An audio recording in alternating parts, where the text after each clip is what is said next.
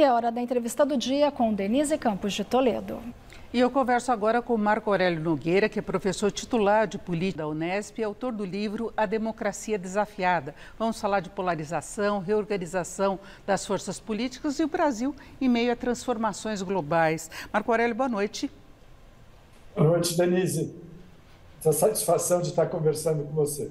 Bom, no seu livro, né, A Democracia Desafiada, você fala das transformações globais que estão ocorrendo no cenário político. Né? Nós temos polarização, um avanço da direita em todo o mundo, basta a gente conferir as recentes eleições. Tivemos Milley na Argentina, resultado recente em Portugal. Trump vai disputar novamente nos Estados Unidos, apesar dele ter ido contra a democracia, ter estimulado a invasão no Capitólio, ter processos a respeito disso. E aqui no Brasil temos uma polarização muito grande grande. Então, eu queria saber como é que você avalia essa mudança global do cenário político. O que aconteceu? A direita resistindo aos avanços, inclusive de costumes, uh, que era colocado mais pela esquerda?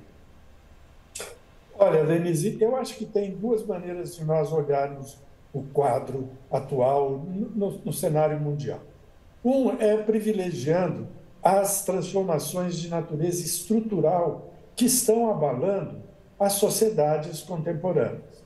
É, quer dizer, há, há uma, um processo muito agudo, muito forte de transformações que vêm uh, apoiadas na revolução tecnológica, na irrupção das redes e na desorganização mais ou menos generalizada do modo como se vivia, se pensava, se praticava se, política e se trabalhava. Então, esse movimento que é de, de natureza estrutural, ele acaba por abalar todas as instituições e todos os hábitos políticos nas diversas sociedades. Então, esse é o primeiro ponto. O segundo ponto é que, por conta disso, as opiniões políticas saíram do prumo, vamos dizer assim.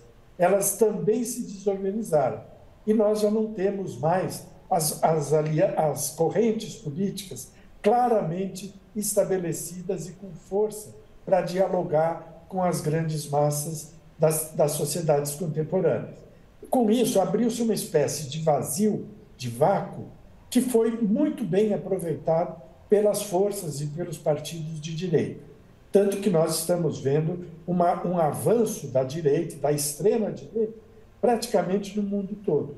Né? Quer dizer, então, não, não dá para a gente explicar isso sem levar na devida consideração o quadro estrutural a que eu me referi. É, porque não é apenas a direita que a gente tradicionalmente conhecia em relação à gestão da economia e mesmo de costumes. Tem a questão da direita radical, com movimentos radicais, não é?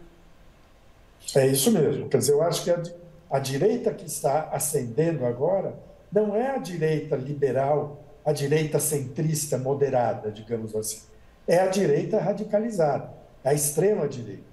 E isso cria uma situação de muita efervescência e de muita confusão na cabeça das pessoas.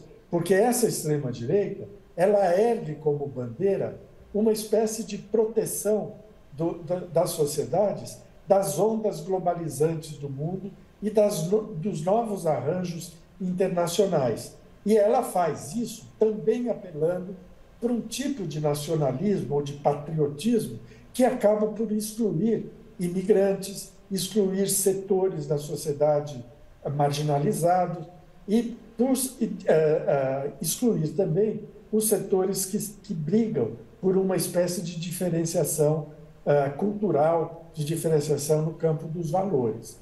Então, eu, eu acho que nós temos um quadro hoje em que essa confusão estrutural essa desorganização estrutural, se combina com uma polarização muito forte, que não é exclusiva da, da extrema-direita, ela está sendo comprada como um fator político geral e por, uma, por um esforço de vários segmentos sociais por firmar bandeiras identitárias, o que acaba por criar ainda mais arestas nas diversas sociedades e nos diversos ambientes governamentais. É, porque nós acabamos de ter uma polarização, como ocorre aqui no Brasil, entre direita e esquerda, mas as duas, os dois lados com uma tendência populista, em que, é, em que nos leva a, a ter problemas também até em relação à gestão da economia. Então, a direita e a esquerda, em determinados aspectos, acaba se encontrando e cometendo os mesmos equívocos. Né? Então, o Brasil vive muito disso em relação à gestão da economia, por exemplo. Com certeza. Eu acho que há, e é, inclusive o atrito, ele não se faz da direita contra a esquerda. Ele se faz, inclusive, dentro da própria esquerda. Quer dizer, o ministro Fernando Haddad hoje é um, um, um político que atravessa o oceano num barco mais ou menos atacado por todos os lados. Né? As próprias áreas governamentais, e particularmente áreas do PT, não estão satisfeitos com o modo pragmático e, e, e contido que o ministro Haddad pratica. Dizer, então, isso é um, uma situação grave que deixa o próprio governo Lula numa situação de equilíbrio cada vez mais instável, o que acaba por forçá-lo ou a radicalizar na polarização, coisa que ele tem feito de maneira sistemática, ou por se aproximar cada vez mais das áreas fisiológicas do Congresso Nacional, o chamado Centrão, e entregar pedaços importantes do governo à gestão dessas áreas fisiológicas, com o que o conjunto do governo fica bastante comprometido e perde a possibilidade de fixar no horizonte alguma marca de gestão que possa dar a ele condições de afirmação, condições de crescimento e de estabilidade.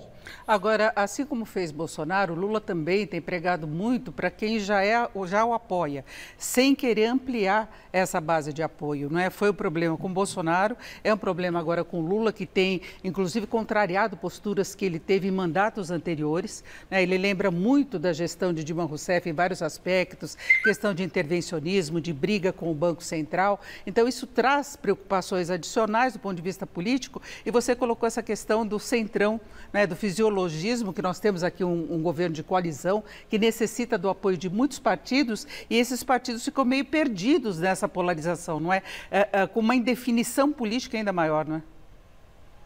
Olha, Denise, você tem toda a razão nisso. E, e eu diria assim que a, a pro, proposta ou a expectativa de que a partir das eleições de, de 2022 nós teríamos no Brasil um governo de coalizão com capacidade de unificar o país e reformar o que precisa ser reformado, essa expectativa não se materializou, não se configurou, porque o, o governo Lula, ao se constituir de maneira uh, propriamente dita, né, a partir de janeiro de, de 23, e talvez a, atacado pela, pelo 8 de janeiro de 23, ele acabou por enveredar por uma trilha que deixou de lado todas as forças propriamente democráticas que contribuíram para a sua eleição em 22. E ao fazer isso, ele de alguma maneira se entregou às articulações de caráter fisiológico mais próximos da direita e do, e do centro fisiológico no Brasil. Né? Quer dizer, eu acho que isso acaba por comprometer demais o governo do Lula. Né? É um governo que hoje não tem uma marca própria. Por outro lado, eu acho que há também uma espécie de desidratação das forças democráticas brasileiras.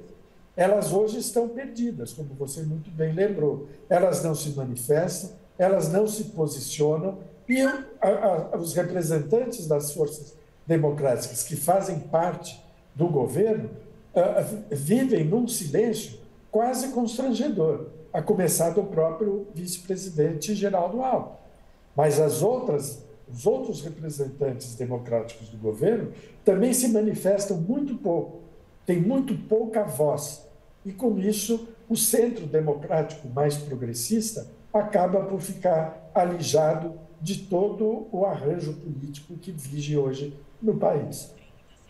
É, com essa polarização prevalecendo, fica difícil até o surgimento de lideranças que se posicionem de uma forma diferente. Mas é isso, eu agradeço muito a participação do Marco Aurélio Nogueira, que é professor titular de política da Unesp e também autor do livro A Democracia Desafiada, que trata desses temas que nós estávamos conversando. Marco Aurélio, muito obrigada, uma boa noite. Boa noite, Denise. Foi um prazer. Com vocês.